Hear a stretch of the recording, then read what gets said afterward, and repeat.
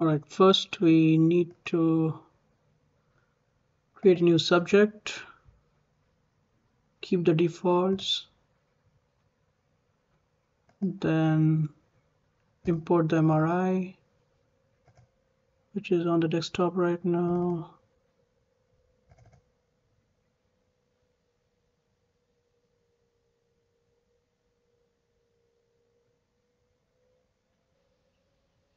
Then we need to set the fiducials. You can either do it manually or the easiest way is to just click on the link out here, the click here to compute MNI normalization. Select MAF8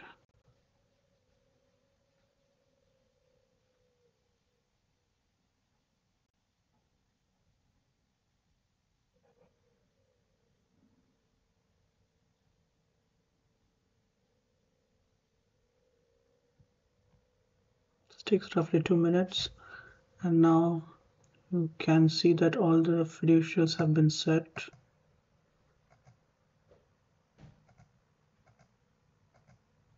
So click on save.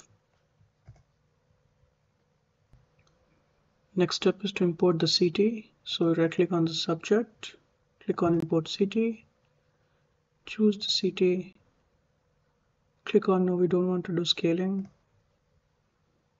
select S for the transformation choose CT to MRI registration. We are using the CT to MRI plugin. You would want to do reslicing and also clean the CT volume so that there are no wires hanging out outside the skull this will take some time roughly around 6 to 10 minutes depending on your system. So let me fast forward it for you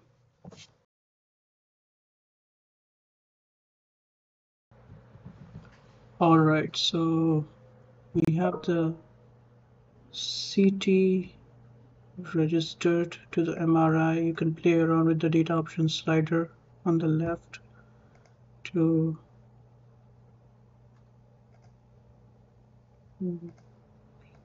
get better visualization of the CT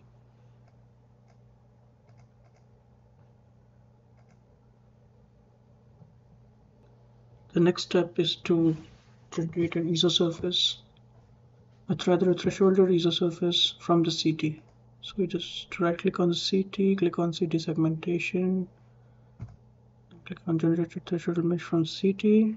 This pops up a window wherein you need to give a rough threshold so that you can see the contacts. Currently we have set to be the mean of the white level and the max intensity from the histogram of the CT. So let it be let it be at the default value. And just click on OK.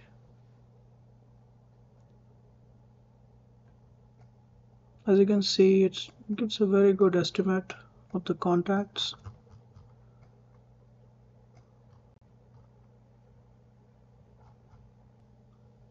Right so now we have the MRI the CT and the isosurface. The next step is to start the contact localization process. So we right click on the CT click on SEEG/ECoG implantation. So this takes you to the functional tab and opens up an implantation folder with a blank channel file and also the MRI viewer and the isosurface. So the next step is to use this panel, the panel iEEG, which, which will help you in creating all the electrodes and the contacts. So first of all, let's define an electrode. Let's say it's AH I see there is no contacts out here. Now the first step is we zoom in. And let's say we want to define this as an electrode. So you see it is uh, a, this particular contact is actually joined. So maybe we can still separate it. So the way to do that is go back to the surface tab and make sure that the ISO surface is selected and you can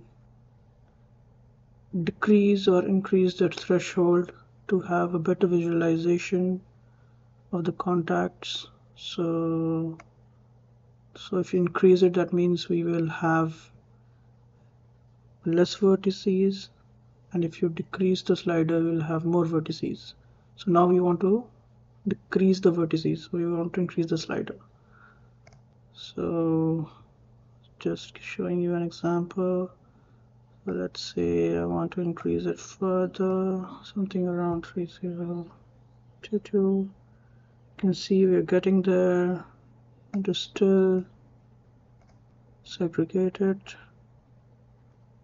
now if you zoom in you can see that they have been separated. So the next step is add panel coordinates click on select and we choose this. So that first we need to set the tip and the entry. So the tip has to be on the uh, will be moved deeper into the brain so this should this will be the tip. So as you can see it puts a crosshair on the center of the mesh of this particular blob and the corresponding value location gets updated in the MRI view.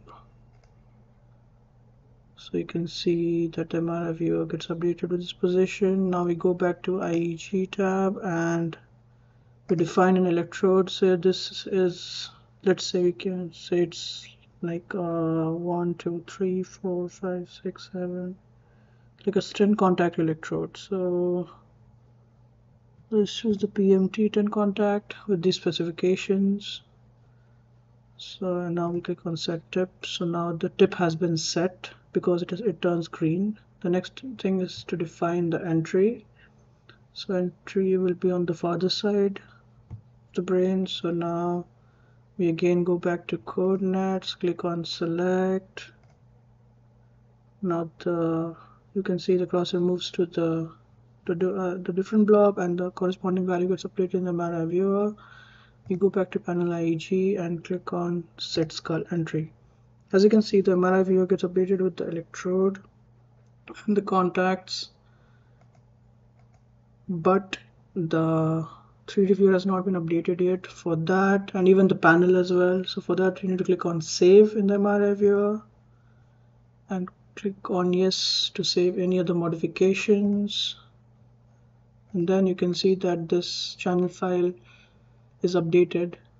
Now if you double click this opens up the updated isosurface and also updates the panel where you can see all the contacts. If you zoom in you can see that you can visualize the contacts moving both in the MRI pen viewer and the 3D viewer. As you keep clicking on the contacts you can also use this tab out here to view the coordinates in different coordinate space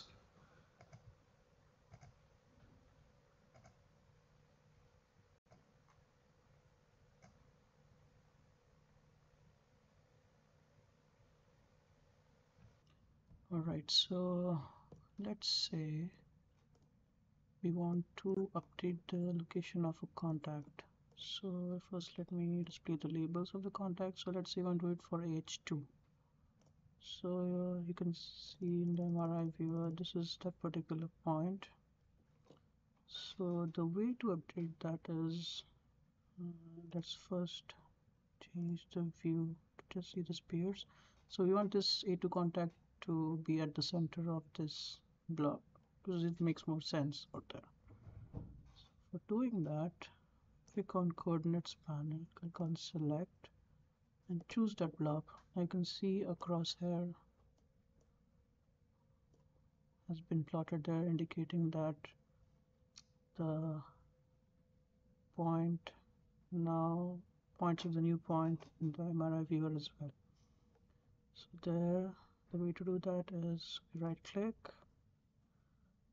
in the MRI viewer click on electrodes and click on set electrode position. We want to update AH2 click on OK. Now you can see the point got updated in the MRI viewer. But as you can see the 3D figure has not been updated yet. So to do that we click on save and click on yes for allowing all the modifications. Now if we reopen it you can if you zoom in you can see that the contact has been updated. And has moved to this new location. Uh, yeah okay. If I turn this the sphere mode you can see the shift in the position. You can do that for all the remaining contacts as well. So for now another feature we can use is doing a line fitting so if I click on contacts oops if I click on the electrode choose contacts and show line fit through contacts so as you can see that we get an updated rough trajectory between these two points through the line. And you can hide it if you want to and again change the contact the electrode model does not ideally follow the actual trajectory but rather it just shows as a straight line but this is like a work in progress wherein we'll be able to model the actual uh, shift in the curvature of the electrode but this is part of our future work